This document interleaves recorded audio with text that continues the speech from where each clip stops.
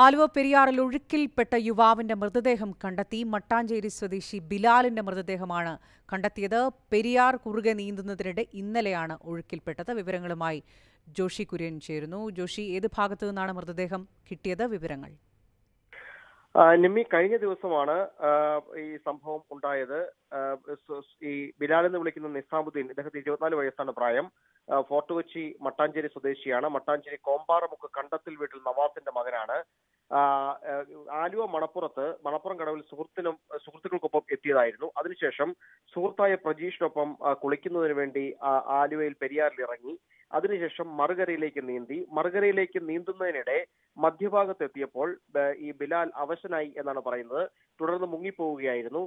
കഴിഞ്ഞ ദിവസങ്ങളിലൊക്കെ തന്നെ ഈ ഫയർഫോഴ്സും പോലീസും ചേർന്ന മേഖലയിലൊക്കെ തന്നെ പരിശോധന നടത്തിയിരുന്നു. തെരച്ചിൽ നടത്തി പക്ഷേ മൃതദേഹം കണ്ടെത്താൻ കഴിഞ്ഞിരുന്നില്ല. അതിനുശേഷമാണ് മുളവുകാരി ജെട്ടിക്ക് സമീപം ഒരു അജ്ഞാത മൃതദേഹം അടിഞ്ഞത്. തുടർന്ന് നടത്തിയ പരിശോധനയിലാണ് ഇത് ബിലാലിന്റെ മൃതദേഹമാണെന്ന് തിരിച്ചറിഞ്ഞത്. മൃതദേഹം എറണാകുളം ജനറൽ ആശുപത്രിയിലേക്ക് മാറ്റിയിട്ടുണ്ട്. ഇന്ന് പോസ്റ്റ്മോർട്ടത്തിന് ശേഷം ബന്ധുക്കൾക്ക് വിട്ടുകൊടുക്കുമെന്നാണ് പോലീസ് അറിയിച്ചിരിക്കുന്നത്. ഈ മട്ടാഞ്ചേരി എറണാകുളം അടക്കം വിവിധ പോലീസ് സ്റ്റേഷനുകളിലായി ബിലാലിനെതിരെ നിരവധി ക്രിമിനൽ കേസുകൾ ഉണ്ട് എന്നാണ് മനസ്സിലാക്കുന്നത്. നേരത്തെ കാപ്പ നിയമപ്രകാരം പിടിയിലായിട്ടുള്ള ആളാണ് ബിലാൽ. പക്ഷെ സുഹൃത്തുക്കൾക്കൊപ്പം അവിടെ എത്തി കുളിക്കുന്നതിനിടെ ഈ പെരിയാറിന്റെ മറുകരയിലേക്ക് നീന്തുന്നതിനിടെയാണ് ഇയാൾ മുങ്ങിപ്പോവുകയും തുടർന്ന് അപകടം സംഭവിക്കുകയും ചെയ്തത് എന്നാണ് ഇപ്പോൾ മനസ്സിലാക്കുന്നത്. നിമി. ശരി ജോഷി.